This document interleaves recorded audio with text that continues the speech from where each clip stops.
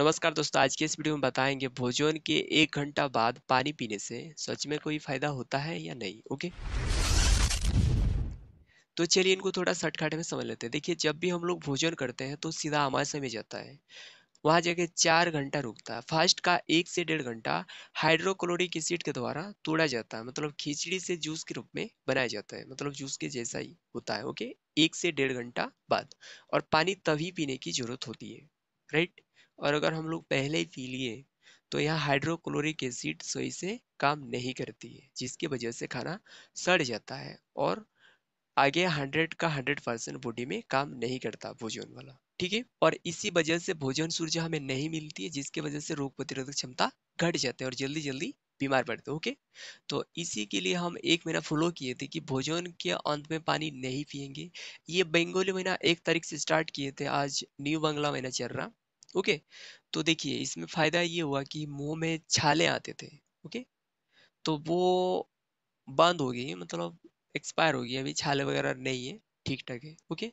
और ये digestive system, जब तक आपका ब्रांड नहीं रहेगा ना तो कुछ ना कुछ प्रॉब्लम होते रहेगा। इसका मेन कारण यही है कि भोजन के अंत में तुरंत पानी पी लेते हैं और उसको हाइड्रोक्लोरिक एसिड को मतलब भोजन को ठीक से तोड़ने नहीं देते जिसके कारण ही ये सब प्रॉब्लम छोटी मोटी प्रॉब्लम आ ही जाता ओके और यही चल के आगे बड़े होता है। जैसे भी जो हेयर फल आती है ना, हेयर गिर जाते हैं, इन्हीं पाचन तंत्र की वजह से ही गिरता है ज़्यादातर ओके तो ये एक रिज़ल्ट आए, और जो आप देखेंगे, महसूस करके देखेंगे, जैसे ही एक से दो दिन आप इस प्रकार करेंगे कि भोजन के अंत में पानी नहीं पिएँगे ओके एक से डेढ़ घंटा बाद पीना स्टार्ट करेंगे।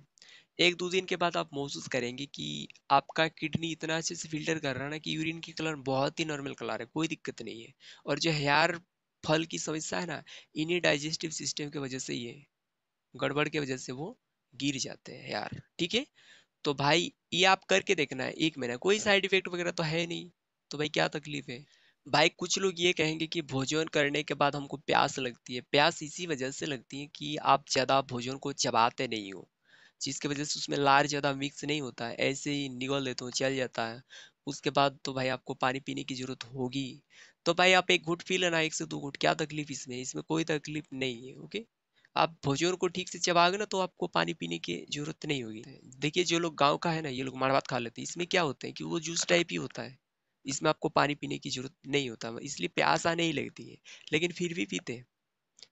तो भाई पी लोगे तो भी एडजस्ट कर ही लेगा, क्योंकि ये इंसान के द्वारा बनाया गया इंजन नहीं है कि ओनली इसमें पेट्रोल डालो तो ही चलेगा ओके एडजस्ट करते हैं, लेकिन उतना अच्छा नहीं कि जितना आप हाइड्रोक्लोरिक एसिड को तोड़ने दोगे, उसके बाद ही पानी पियोगे तो डाइजेस्टिव सिस्टम आपका अच्छा से वर्क करेगा ओके ये नहीं कि नहीं करेगा मतलब खा लिए खाना, उसके बाद पानी पी लो, फिर भी करेगा, लेकिन उतना अच्छा से नहीं करेगा ओके आपका जितना बॉडी में काम में आना चाहिए भोजन से, पोषक तत्व, उतना नहीं आएगा ओके फिर सवाल आएगा, बोले कि एक घंटा बाद पानी पीना है तो अभी पानी कौन लेके जाएगा भाई?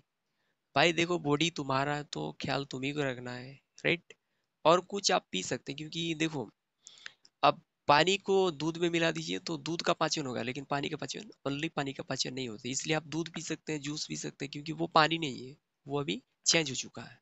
सिर्फ़ पानी ही दुश्मन है। आप भोजन के बाद पानी नहीं पी सकते, जूस, दूध आप पी लो, चलेगा, क्योंकि वो पानी नहीं है, पानी से चेंज हो चुके हैं ओके एक घंटा के बाद आपको याद रख के पानी पीना ही है, या तो फिर समस्या खड़ी कर देगी ओके ये आप दो से तीन दिन करके देखना कि यूरिन का कलर एकदम नॉर्मल में आ जाता है मतलब किडनी बहुत बढ़िया से फ़िल्टर कर रहा ओके ये आपका डाइजेस्टिव सिस्टम ही बिल्कुल चेंज हो जाता है पहले से। आप करके देखना, एडजस्ट नहीं हुआ तो तीन से चार दिन कर लेना, कोई तकलीफ़ नहीं है। उसके बाद से आप एक महीना चला सकती है, उसके बाद आप देखिएगा, थोड़ा चेंजेस आपको देखने को मिलेगा ओके तो ये एक छोटा सा वीडियो था अब समझ में आया होगा, फिर मिलते हैं नेक्स्ट वीडियो पे।